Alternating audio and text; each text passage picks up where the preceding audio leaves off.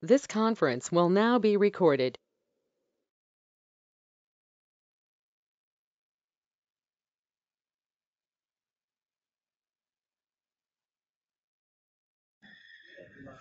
Okay, hello everyone. We've got a few people online. Um, I'm Jen Riley. Um, thank you for joining me at sort of uh, what is lunchtime here in, um, in Victoria. I think everybody's Victoria based actually. Now, I have popped you all on mute um, just so that we don't get lots and lots of feedback, um, but we'll take you off uh, mute as we go. Um, I was going to put a little webcam on just for a second so I can say hello to you all and you can see me. Um, but we will be using a lot of the screen. Look, there I am. Hello, can you see me? You can write in the little chat function whether or not you can see me. Can you see me? Use the chat function as a good way to talk to everyone.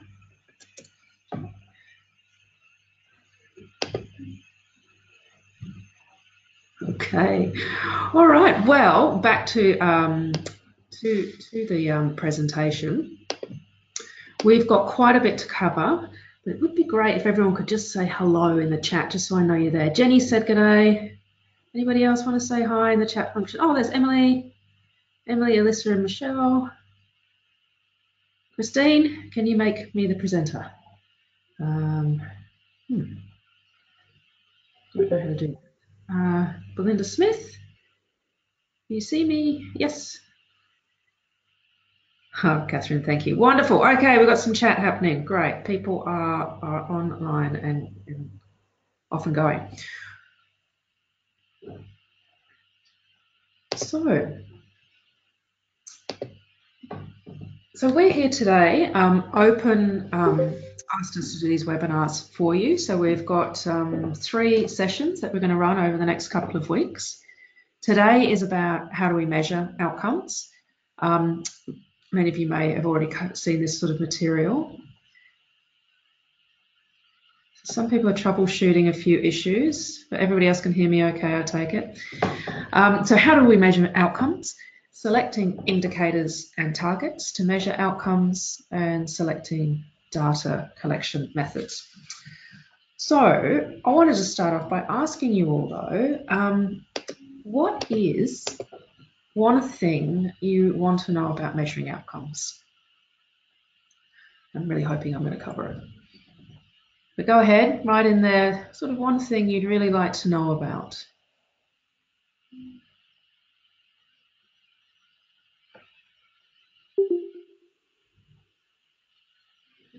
It's getting a few comments up there.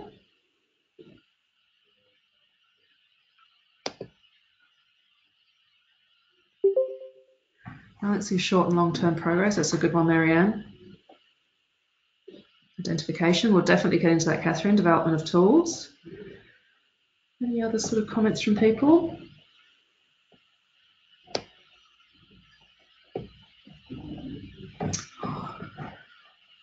I know you know where the chat function is because you all said hello. So um, keep those comments coming.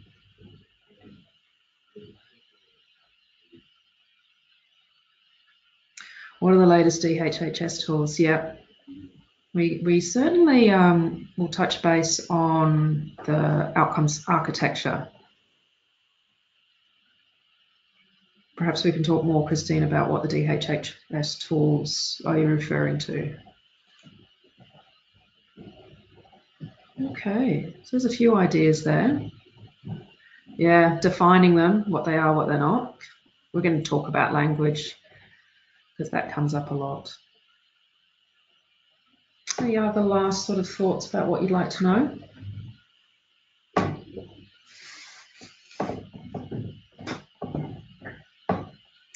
Okay, well, we will move into, these are the sort of learning objectives we've come up with today.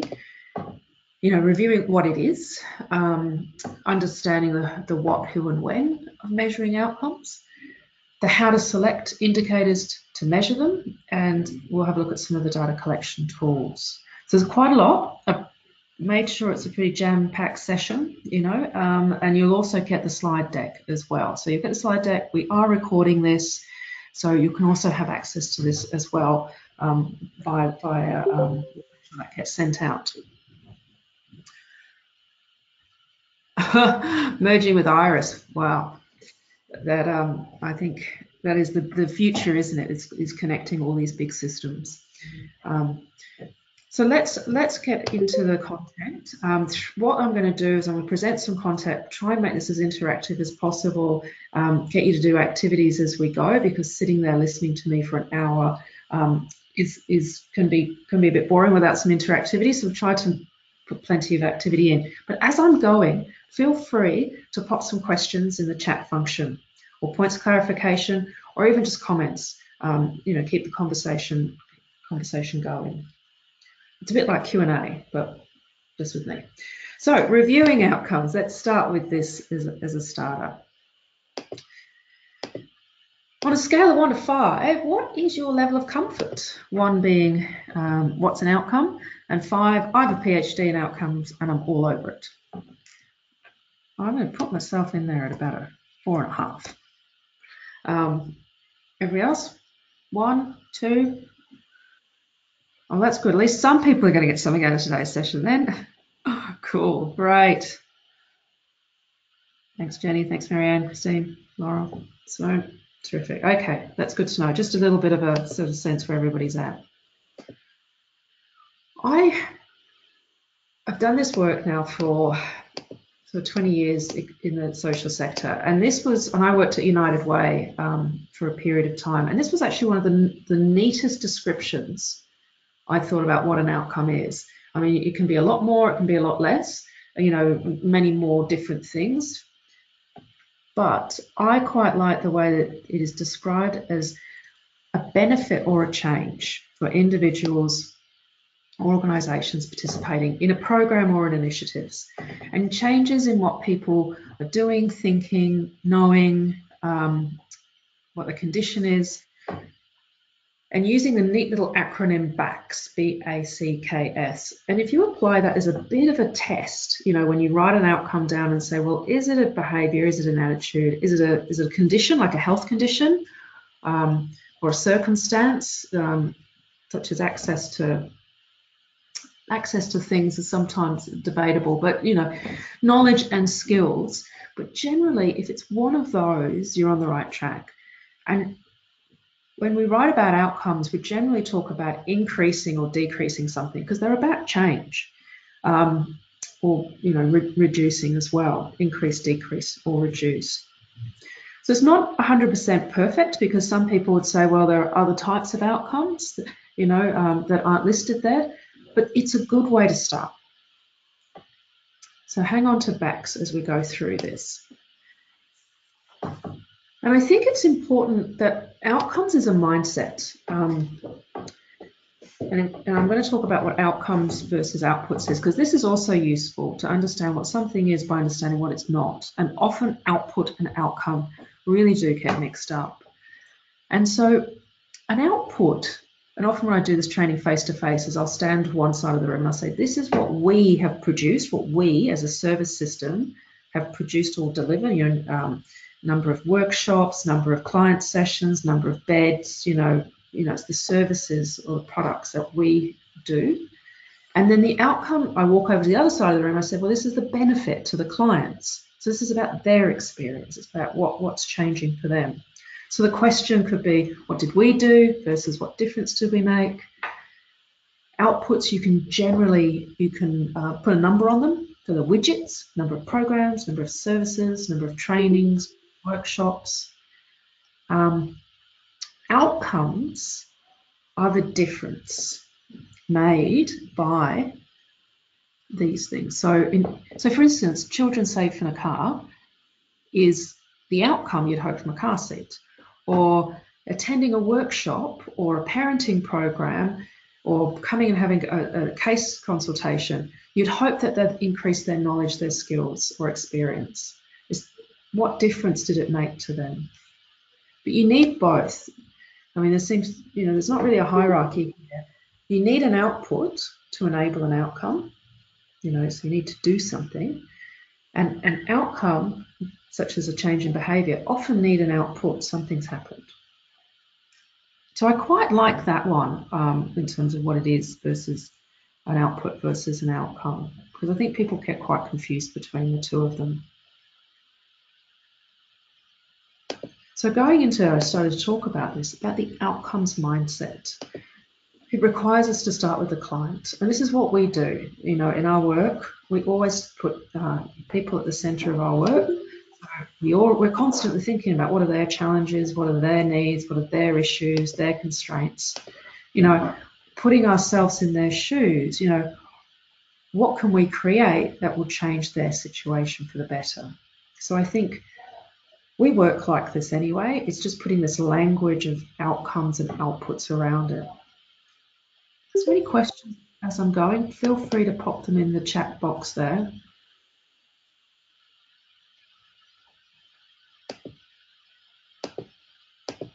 So I think, you know, in this sort of human-centered design that we're all in at the moment, or you know, whatever um, you know, client-centered language we're using, it's just meaning that, you know, we are really starting with the end in mind. And sometimes it means we've got to look at our outputs because they might not be the right uh, product or service to change what we want. So it's a really good chance to say, well, does A lead to B? You know, and I, the example I put up there is that, you know, there's these tens of thousands of apps out there for mobile phones, but how many of those have improved lives? And I think we've all been part of a service occasionally along the way where there's been a lot of focus on delivery and sort of less about, well, has it really improved the lives of those that we're working for? And, and it, the focus on outputs has been because government for a long time has requested output uh, contracts. You know, we have to report on outputs, and so our focus has been on, on those outputs. Um, and so I think we've become very good at measuring outputs.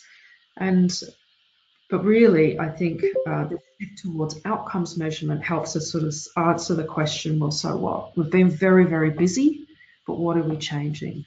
Um, and, and putting some, as I said, some language around this. So what does an outcome mindset mean for program managers? You know, it's shifting this focus from are we working to deliver a service? To are we working to improve the health and well-beings of families, children, and their community? I mean, ultimately, we've got to hold both. We've got to have an outcome mindset, but we've still got to keep measuring those outputs and ideally lining the two up.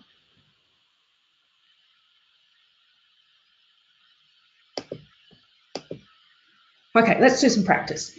See if this has gone in. So outputs are what we produced to create outcomes, written from our perspective. That's another good way to do it, is, is write it from you. And outcomes, you can write as I statements. So for, um, you know, Andy here, Andy's outcome might be that there's been a change in her her knowledge or um, a increase in skill, so she's able to ride a bike. You know, you can put that in I statements. Sometimes, you know, when we write them in a bigger diagram, we'll remove the I statements. But if you write it as I, this is what's changed for me, um, that helps. You know, make it make it really real. Okay, all right. So, who's become really good at identifying outcomes in terms of the experience of the user is the commercial sector. So I've got a couple of fun examples for you. Okay, so looking at this, what is the output and what is the outcome? You want to have a go? Pop it in this, um, this chat function. What's the output? What's been produced or delivered by the company? And what is the outcome? Well, apparently, the outcome, according to Coke, you may have some few other outcomes. That's right. yeah, this is right. Happiness, apparently. Output is an advert. That's very clever. It is indeed. Is the out. The advert is an output. That's right. But in the advert, what's the output? Happiness sugar high is the outcome. Well, that's right. This is, I've had a few other people do this training, and they'll say, "Well, you know, diabetes." But I think what's interesting is they're not focused on the output. They're not telling you that they've distributed 1 million bottles of Coke. They're telling you um, about the outcome. The next one I quite like is this one. What's the output and what's the outcome? And again, there might be some unintended outcomes of, of this um, output. What do you think?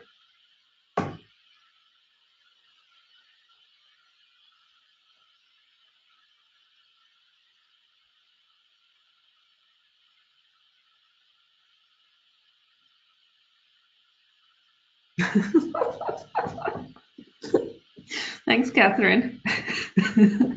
I had someone, I'm laughing, I don't know if everyone see Catherine's comment, but the, the heteronormative, heteronormative bliss. I had someone say to me, especially with that green line around the family, that it, it, it put a whole new meaning to nuclear family. Yeah. Turning green is the unintended outcome. Quite like that. Yeah, and what superbugs as well, I think was the other sort of, yeah. Are you really exactly, Marianne? So some great questions and comments there. Um, they do have a worrying green glow. Um, so, um, but I think it's just, I kind of wanted something that sort of st stuck in your mind when you were thinking about what's been produced, what's versus, versus what's the apparent changes uh, for the for the end user. So hopefully that, that sort of helps. Okay, so um, we're now moving into a little bit of a review of theory of change program logic because like one of the things that flows from you know this identification of of outcomes is well how do you come up with an outcome? And so we start with the end in mind you know, we often use big shower curtains or sticky walls or posters on the wall and get some post-it notes or, or whatever and sort of say, well, what's the what's the change we're seeking to create? And ideally you would do this with community, you know, ideally, rather than in a room without them. But you'd sort of work alongside the people that wanting the change and say, well, what is it? Um, and then working out where you are now and then where do you want to be and sort of working out an outcomes chain or a theory of change or a program logic. These words, these phrases get used interchangeably, but ultimately it is a, um, a, often a schematic, a drawing that explains a series of outcomes that lead to, to other outcomes. And I'll go into this into more detail.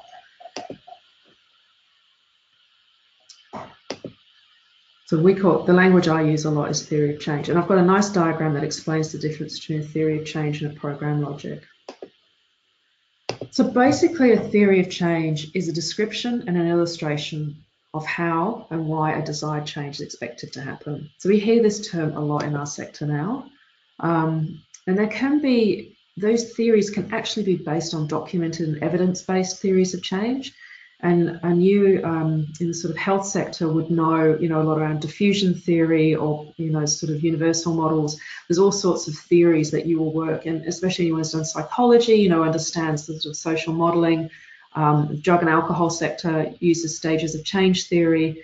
Um, innovation include increasingly talking about diffusion theory, you know, early adopters, late adopters, and, and so on. So we talk a lot about these sorts of these theories all the time, and in your work, they're often implicit.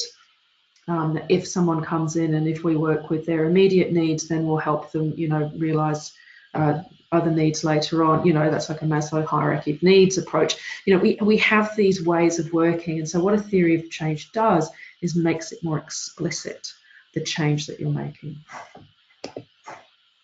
And what these theories of change help us do is help us identify these long-term, medium-term and short-term outcomes. So I think this was something someone raised right at the beginning, is how do you identify short-term and long-term outcomes? And my answer would be you'd have a theory of change, program logic, the ones uh, that are short, that are closer to the, the output are your short-term and the, the, further you get away is long-term. Here are some pictures. So you've all seen something that looks a little bit like this. These are often referred to as theories of change documents. Um, this one down in the bottom left-hand corner is probably a little more like a, a program logic. I'll show you this next slide because I think this is a nice depiction and it's really worth reading this article. It's a blog article on theory of change versus logical framework. And it's a really uh, nice way to sort of say, well, the theory of change is often quite messy and quite complex and explains all the levers of change and if this, then this, and um, you know, our assumptions are, and if, if we use a bit of social modeling and a bit of expert, you know, um, advice, you know, if we you can sort of write down, you know, there's often things go in, in loops, you know, there's positive reinforcement loops, and you can make this a really messy sort of drawing that gets it all out.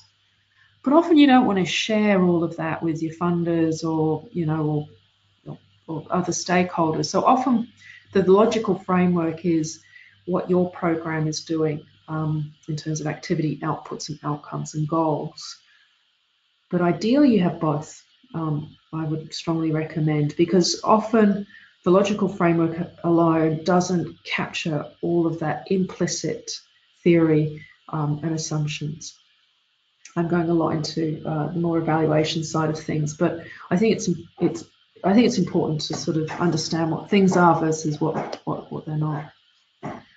Any comments? Is that useful in terms of just mentioning how theory of change links in with outcomes? Or has everyone decided to go for lunch?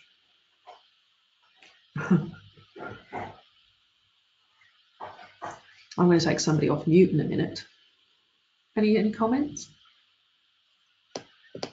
Thanks, Jenny. Christine's thinking. That's right, yeah. Whenever I, I get in a room and do theory of change with, with workers and, and often clients, it always it's always there. It's always I, I just sort of have to sort of drag it out of people and I go, yeah, but then what happens? What do you think happens then? And and everyone knows it, you know, you just have to sort of get it out and put it in this language. And it's important to do because there's a lot of um, assumptions in teams about how change happens. And it's important to sort of pull that out so you can um, doc document it and then measure it. How do you solve it? You don't solve theories of change, uh, you test them. So you put a theory of change out there and you say, if if uh, children uh, come to us and if we give them, you know, three-year-old kinder, then they'll get better educational outcomes, then good things will happen, and then you measure it. Um, yeah, I don't think we, we don't solve it. Okay, wonderful. So that's just a, a little bit about logic models. So back to a bit more on outcomes. And this will all sort of start to fit together. So who has outcomes? And look, everyone has outcomes. Um, individuals, young people, clients, families, um, family members, staff, volunteers, policymakers, funders. Often you have to work through someone to get to somebody else. So, um, for instance, like a GP, you, a number of programs I've worked with, um, we've worked with GPs and got knowledge and skills in GPs and trying for some attitude change perhaps sometimes. And if they change, we call them the intermediary outcome, where the theory is then they'll pass that information on or they'll behave differently towards a client who's coming in. So that's more intermediary, but it's still, you know, important. So I put up this, um, many of you be familiar with the um, Bronnan, Fanon, Brennan, uh, social ecology, but the idea, um, you know, that, that change happens at multiple levels across a system. And so we might be working at the level of the individual, or as I said, we might be working with, many of you work with microsystems, you're working with the family or the siblings or the teachers. Um, and then that's sort of the next level out, sort of the extended family, neighborhoods, mass media, right out to the macro system. And, and many of you will be working in your own systems um, that affects, you know, how, how people experience the service system. So I think it's important to sort of identify who um, you're talking about with these outcomes, you know, um, and, at, and, at, what level of the system as well you're, you're working in to ch create change. So the next one is is when. Um, when do we have outcomes? And I mentioned before this thing about short term, medium term, and long term. So this is an example. Um, the long term aim of this program might be reduction in blood pressure. So that's that's a condition. The medium term um, could be the increased rate of exercise. So that's what we want to see happening to result in long term change. And the short term change might be improved knowledge of a healthy lifestyle. So this is a bit of a classic, um, it's very, very simplified sort of health promotion program, perhaps that a workplace would put on. Um, you know, if, again, the theory of change, the theory being if we improve people's knowledge of a healthy lifestyle, so if, we tell them, you know, they need to exercise and eat less chocolate, then ideally, you know, behavior change will take place. This is this is a theory, okay, people. This doesn't necessarily happen um, we will increase the rate of daily exercise. And then if we increase the rate of, rate of daily exercise, there is an evidence base to say that, you know, that has, that has good, good results for, for health. But I think what you can do is once you've written this down, then you can sort of test the assumption. And of course, the almighty assumption in this one is, anyone want to have a, have a go? What's the assumption between someone improving their knowledge and someone changing their behavior? I know somebody knows the answers to that.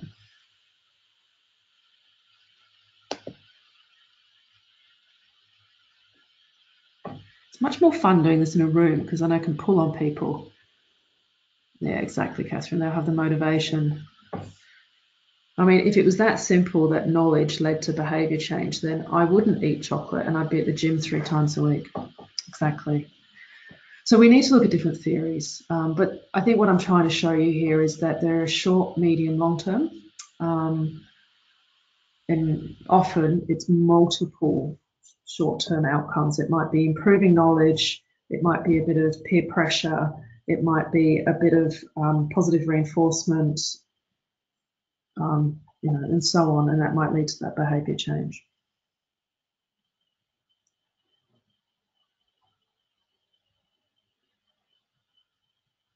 I've given some examples down the side here about what, what sorts of outcomes you sort of expect in the short term, such as, you know, learning, awareness, skills, opinions, aspirations, motivations, you know, and then medium term. This is really rough. I mean, you can have behavior change overnight. You know, you bring in seatbelt laws and all of a sudden everyone changes their behavior.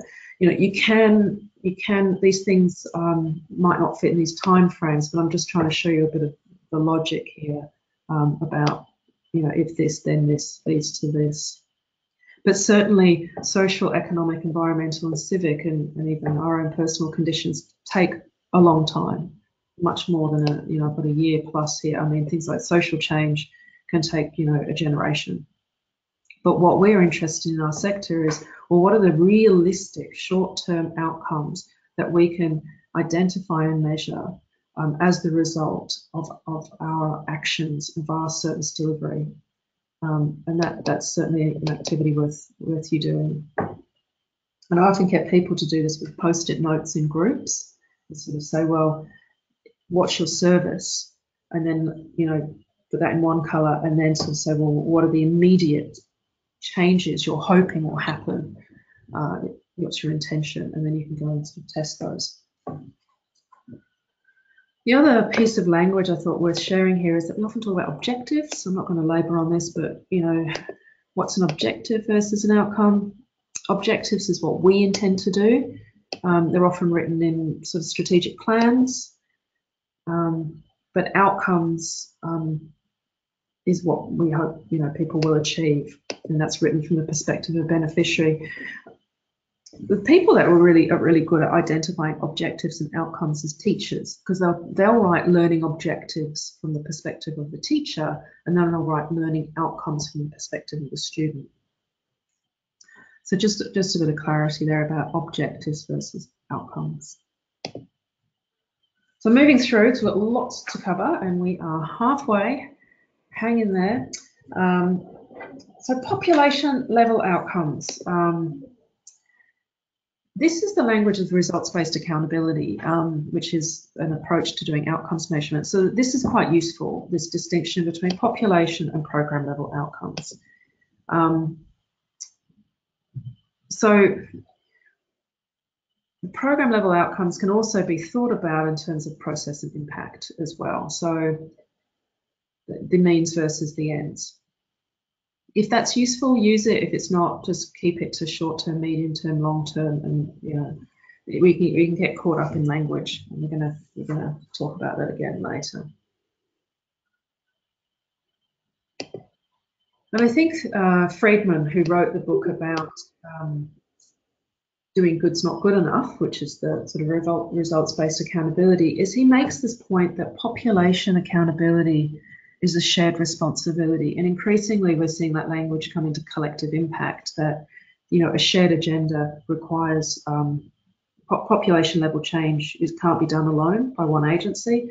That's going to take, um, you know, a village. It's going to take multi-stakeholders from different sectors. But program accountability, um, that we take responsibility for what program outcomes. And it's not reasonable to have accountability at a program for a whole population level change. So we often just draw a dotted line at the top of the theory of change and say that's what we're contributing to at a population level. Um, I think I've got some examples here about population. You know, world peace, there you go. All Aboriginal children fulfil their potential in Australia, clean environment, residents, safe community, you know, all children start school ready. You know, no one agency or program can make this happen. It is a, a shared shared responsibility. That's where collective impact comes to the rescue. Another example that's used perhaps in a, you know, um, in Shepparton by 2025, the percentage or number of children developmentally on track in Shepparton, population level outcome. But the program level outcome will be you'll through through the program will provide long-term relation-based pre and postnatal and antenatal care for expectant new mothers. I think that's more of an output. What would be the outcome for that? If that if we were going to provide maternal health program and provide long-term relationship pre and postnatal and antenatal care that is certainly something we do we deliver. What would be the program level outcome which i'm now going to rewrite because i didn't write the slide. What would it be? What would that program outcome be? Because that is certainly an output. Just the how. Anyone want to have a go?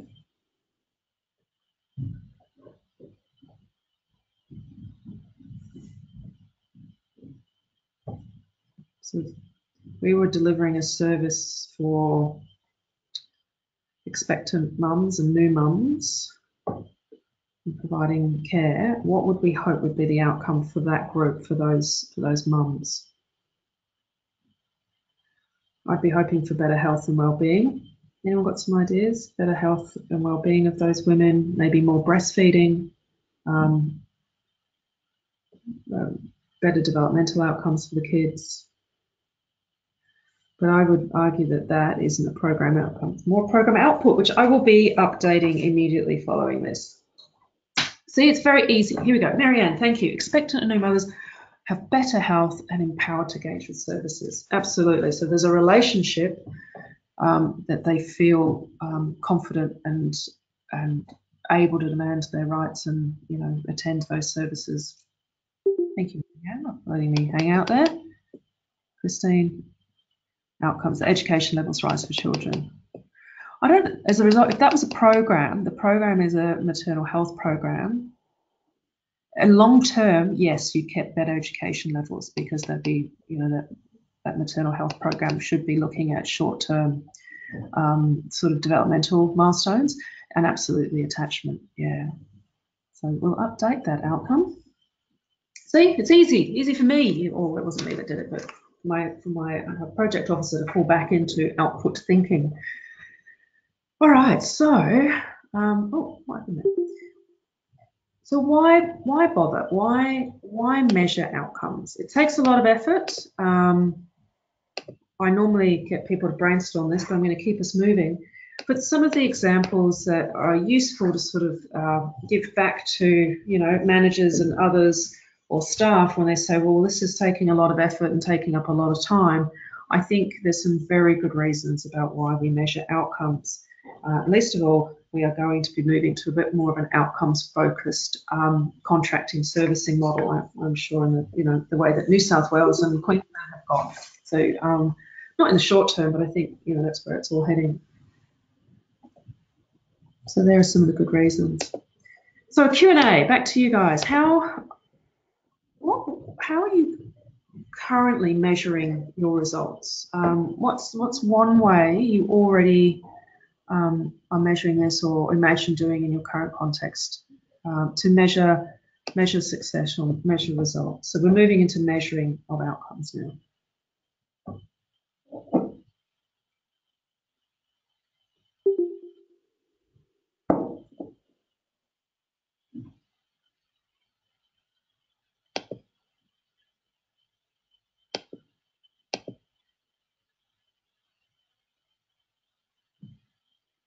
Thoughts? I'm going to call on. I'm going to call on someone. Let's have somebody else talk for a minute. Marianne, I'm calling on you, if that's okay. Tell us about how you are measuring results currently. You're, you're off mute.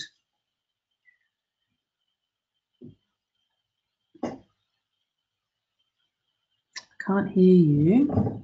Can everybody else hear? Marianne? Having any luck. Catherine, do you want to have a go?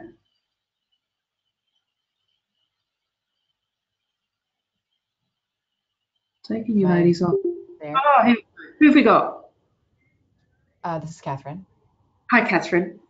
Hey. What do you? Um, so some of the programs um, here are evaluated using pre and post surveys, um, and then there are some kind of post-reflective um, interviews and that kind of thing that are used also. But we're starting up some new um, prevention programs, um, and so I think it's going to be a bit trickier to like they're just going to be a bit different in terms of evaluation and so that's why i'm kind of here to get some ideas Awesome. And so where are you from, Catherine? Uh, I'm from Canada, but I'm working in Melbourne. what service? uh, Drummond Street. Drummond Street, wonderful. Oh, mm-hmm. great to have you. Cool. So you're doing you're doing some pre pre and post.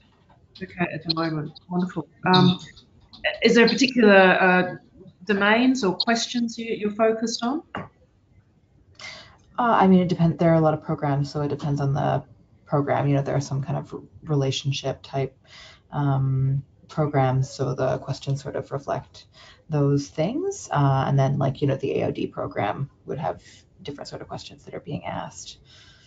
Awesome. Okay. Mm. Thank you. Now, who else can I call on? There's a gaggle of people somewhere. Where are you? Emily, Alicia, and Michelle. There's a party going on over here. Ladies, what um what are you currently doing? Like what here is there on like a little telephone? Are you all on? Are you on mute? You're on, you muted yourselves? No, I'm not getting anything. God, this is what it's like to be on radio, you know, and they just get they get they get nothing. Who else wants to talk? Put your hand up. Maybe I can call out on you. Jenny Carmichael. Where's Jenny? I'm just calling out people that have been very active on the on the chat thing. There's a there's an incentive. Okay, well we might. There's Jenny. See if I can get Jenny talking. You talking, Jenny? Takes a few seconds. Sometimes there's a lag. No, or people might just have mouthfuls of lunch. okay, all right. We'll go back to uh, the presentation, but um, thank you, Catherine. That was great. So, how do we measure? So we set targets and indicators. We use indicators and targets to help us know if we're achieving our outcomes. And this is sort of the middle step, I guess, before we start putting together questionnaires and things. Um, the questionnaire is often the tool. So let's go through this. Outcomes are statements, and the indicators are metrics, and targets are, are you know are expected or are hoped for results. So here's an example. So an outcome. I was recently working on a drug and alcohol project, and the outcome was their, their intention, so a decrease or increase in a condition, reduction in the client's depression.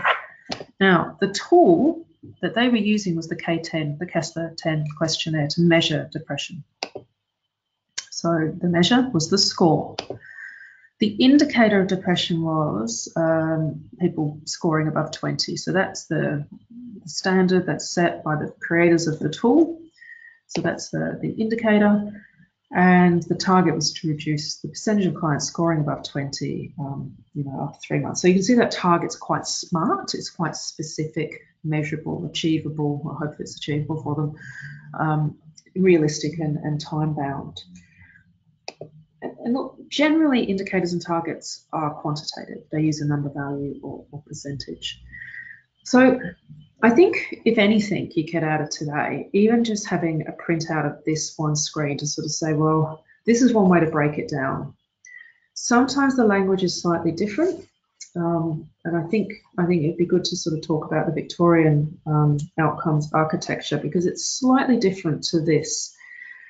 I guess I'm coming. I come from I've come out of the international development sector, from sort of working with World Bank and United Nations and Department of Foreign Affairs and Trade. And, you know, the international sector has sort of 20, 30 years of monitoring and evaluation. And these are sort of the, the way that we've talked about outcomes and outputs and theories of change and so on. Um, so this is this is one way, but sometimes people have slightly different ways of doing it. Um, I'll give you an example. But I think what's the key message here is that as a group or as an organisation, you're clear about what an outcome is, or an indicator, or a target, or a measure. You have your own, you know, when you put together a document, your, your measurement framework, you just be clear internally about what you mean. And so I want to show you the Victorian government architecture that um, you'll, you'll see in the many of the documents that are coming out. And, and especially this sort of bit here about measuring success they have a their outcome statements are very very high level, um, often sort of population level, and then their outcome indicator is the nature and direction of the change required.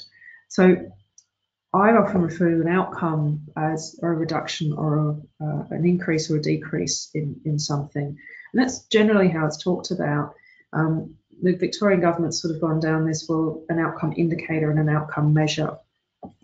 Um, so you know, it's a it's a it's it's an awkward sort of um, unalignment, but I think it's just worth putting that out so that when you look at this and you look at the training that I've given you, you can sort of go, well, we'll rename it this um, for the sake of this report, or we'll, we'll, or we'll write it in the way we want to write it, give it to government. You know, you, you have to sort of negotiate this. It's the same with any, you know, some different funders have slightly different language around things.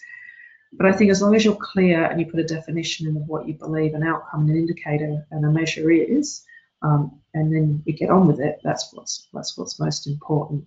So there's a slight nuance in difference, especially around outcome and, and outcome indicator, um, that I've outlined in my my slides to you.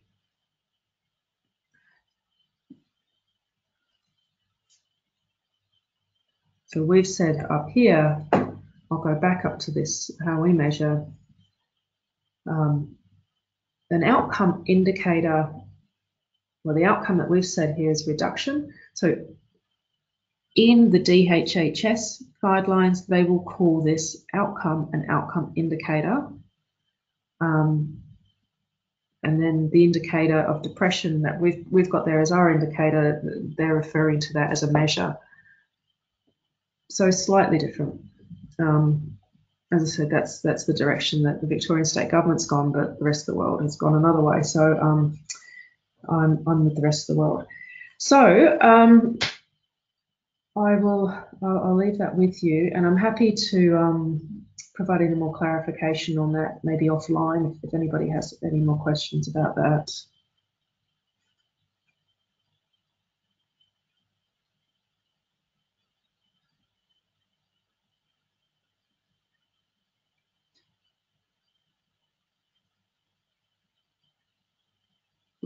Okay, so indicators. Let's dive a little bit deeper into indicators. Okay, so we have an indicator of 12. Great, what does that mean? Um, so what makes for a good indicator? Um, there's a couple of filters or things that we can use. Uh, one is called AIMS, which is a simple test developed by the New Economics Foundation that says it is action focused, it's important, it's measurable, it's simple. Um, another set of criteria is when you select um, an indicator. So why would you select um, when I'm, you know, a particular children are kept read to daily or um, the L17s for family violence? When you pick these indicators, you need to make sure that they're representative of what you're trying to um, report on, the outcomes, which is why something uh, like L17s is important because the L17s are the forms that the police complete when they're called out to a family violence incident. But that doesn't mean that that is the actual representation of the you know family violence that's happening. All that tells you is that that was the number that were reported.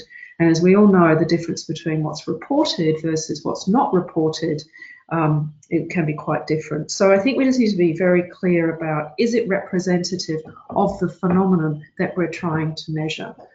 Um, so is it understandable? Um, there are some indicators out there that, you know, nobody knows what they mean. So, you know, try and get something that, you know, you don't you don't necessarily need quantum physics to understand because they need to be communicable, communicatable. Um, relevant, obviously, cost, you know, sometimes it costs money to collect data. Um, are they accessible? Are they timely? Um, you know, like for instance, where are they? Are they online? Can you download them, or have you got to go to, you know, go somewhere to get the information? Are they timely? Do they come out every three years? You know, it's it might be that the ABS data is free, but you know, it's not particularly timely and it may not be that accurate anyway. Um, and are they valid? And I think, you know, looking into um, what is fantastic that uh, Vicky Sinnott and the team at DHHS done is that data dictionary where they've gone through and actually looked at the validity of all the measures that they've recommended for the outcomes framework. So all that work is really useful in selecting indicators. Um, I've got a couple of examples. Um, I want to talk to. So some of the indicators that we would use are the percentage of clients scoring above 20 in the K10. So that was our indicator for um, reducing depression. Here's another one, uh, percentage of unauthorised absences for a class. Anyone want to have a go at what the outcome would be? Like if that's the indicator, what do you think we're trying, what's the outcome? What's the, um, the other side of the coin for this indicator? Anyone want to have a go? So it's going to be something about the students. So we're, we're trying to increase or decrease something to do with the students. Yeah, exactly. Thanks, Christine. Student engagement. So,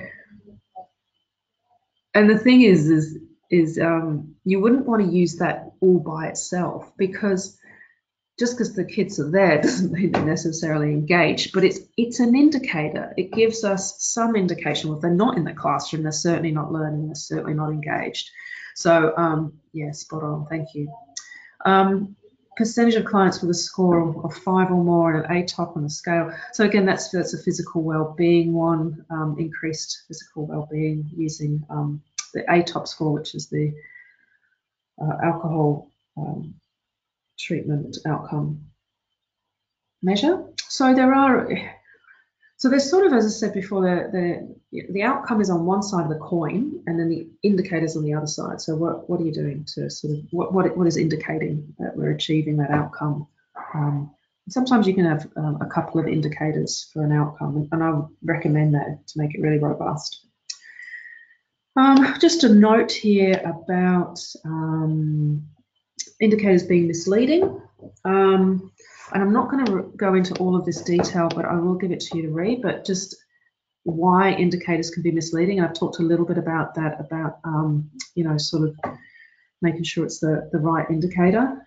You know, L17 is not being the indicator of the rate of violence, it's the rate of re reported violence. Um, you know, and some notes about language, um, the number of and proportion of, um, you know, when we use this sort of language. Um, so this is useful.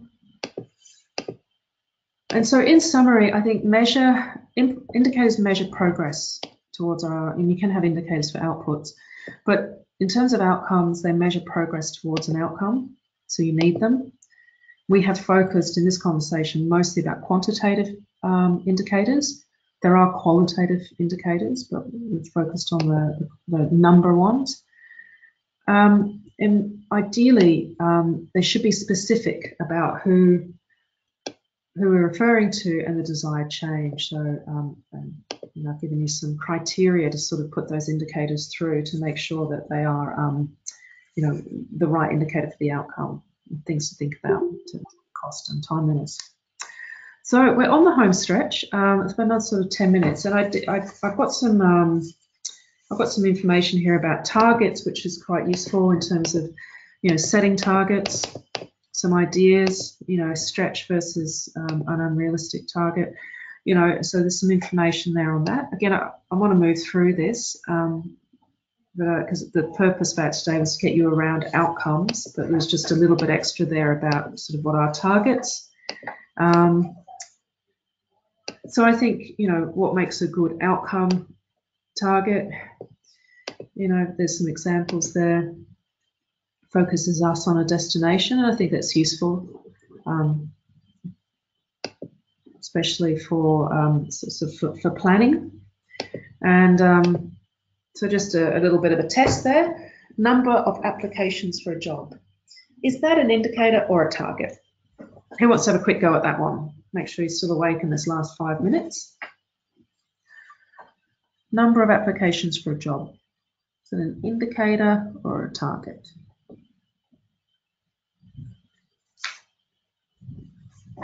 Yeah, thanks, Andy. It's, a, it's an indicator. A target would be um, let's get 100 applications for the job. Uh, the next one, level of client satisfaction.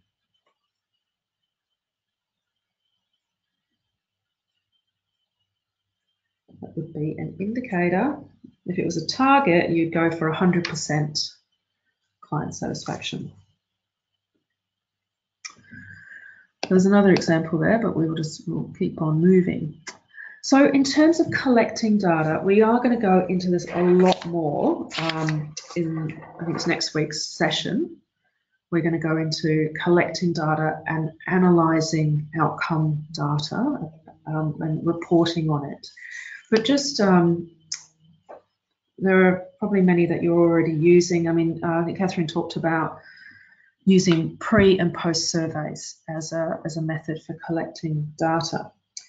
Um, look, and there's so much data out there as well. You know, there's already, you know, you do case notes, uh, you have lots of information about what people, people coming and going and getting them to sort of fill out various uh, sort of experience surveys and, um, you know, and, and increasingly, you know, we're moving towards things like the Internet of Things where um, you know, we're able to track the number of people walking through a door, or we're collecting feedback on a smiley face as they walk out the door.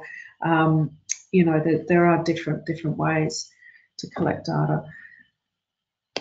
And many of the traditional uh, data collection things is to use existing data, so those sort of admin data sets that you already have.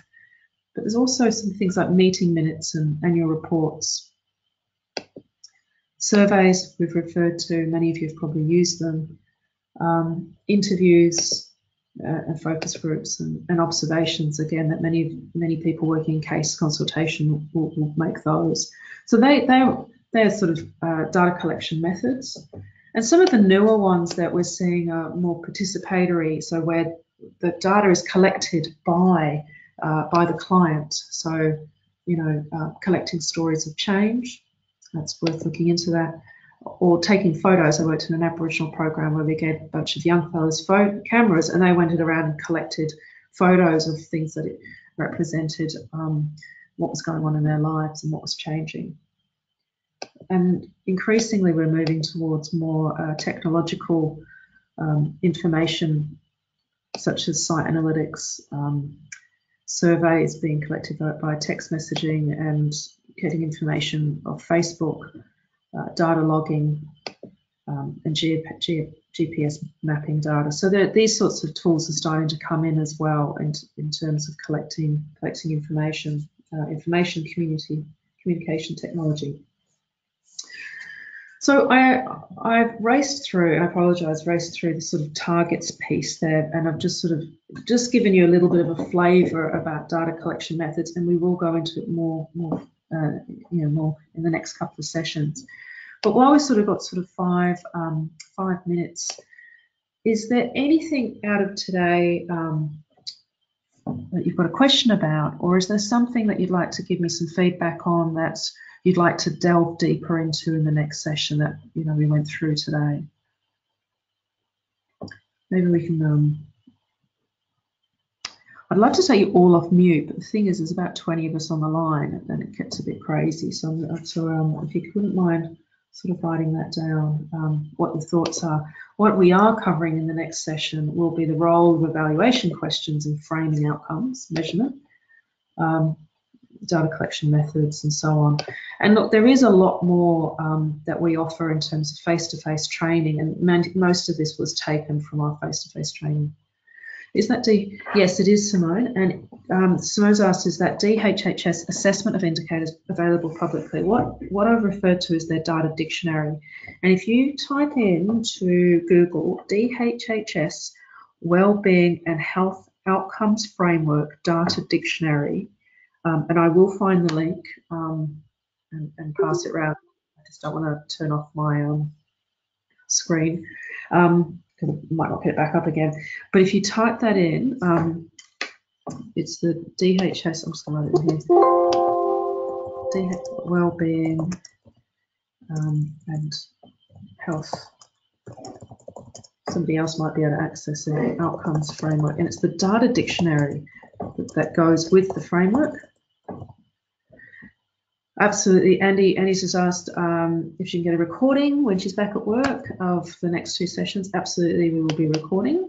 Um, oh, thanks, Emily, Lisa, and Michelle. That was useful. I hope you got something out of it. There was a lot, we jam-packed a lot in that session, but um, as I said, hopefully what you, we did get out of it is a bit of some, some clarity around language, or at least how to have a conversation about that. Um, and uh, hopefully that that is that is useful as well. I think so much of it is about just getting those concepts and some sort of clarity. Um, lovely. I'm glad. Hope you have some uh, good conversations.